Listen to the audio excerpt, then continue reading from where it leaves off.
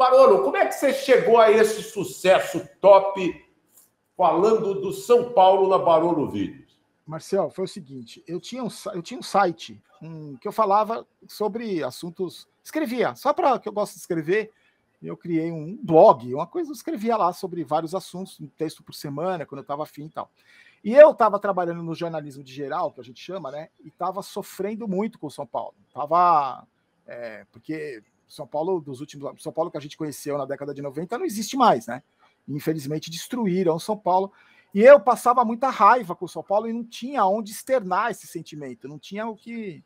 É, como colocar para fora esse, essa angústia que de ver o São Paulo se afundando por incompetência de tanta gente.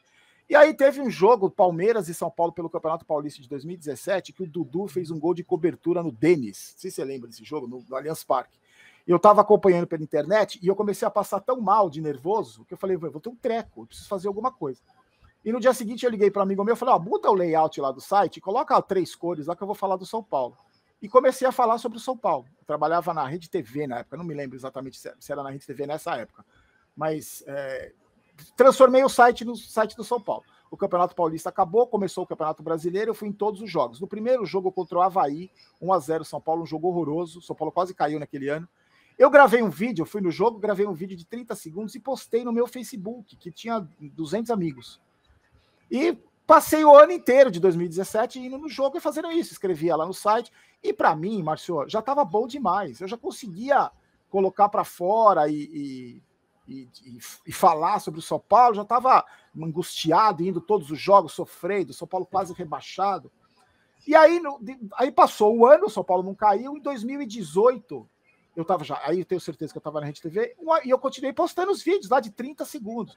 E um amigo meu, um estagiário na Rede TV, falou um dia, chegou para mim e falou assim: Barolo, por que, que você não cria um canal no YouTube? Tem um vídeo seu no Facebook que tem acho que 3 mil visualizações, 12 mil, não lembro. Eu falei, isso é muito, isso é pouco. Ele falou, isso é bastante para Facebook. As pessoas estão compartilhando. Eu falei, mas não tem nem isso de amigo. Eu falei, ah, mas as pessoas estão compartilhando o seu vídeo, a sua indignação com São Paulo e tal. Aí eu falei, puta, é coisa de moleque, isso tão velho, não vou fazer YouTube, canal do YouTube. Imagina, 50 e poucos anos, seu blogueirinho do São Paulo. Eu falei, não. Eu falei, mas isso é mal complicado. Ele falou, complicado. Você tem uma foto sua aí? Senta aí. Sentei do lado dele na redação, lá da Rede TV. Cinco minutos, tá, ele falou, tá montado o canal. Agora você põe os vídeos aqui. Em vez de você postar no Facebook, você põe aqui. Foi assim que começou, Marcelo. E aí, o que aconteceu? O São Paulo, na fase ruim, é, eu, eu percebi que as pessoas, alguns torcedores, principalmente os mais velhos, se identificavam com aquilo que eu falava.